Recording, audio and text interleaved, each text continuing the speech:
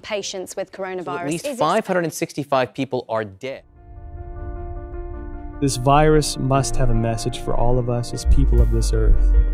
We need to take a break from our busy schedules and seriously consider. Maybe when this virus lifts, we can again find our traditional values, rediscover kindness and virtue, family and community. I believe that viruses can't survive where hearts have compassion.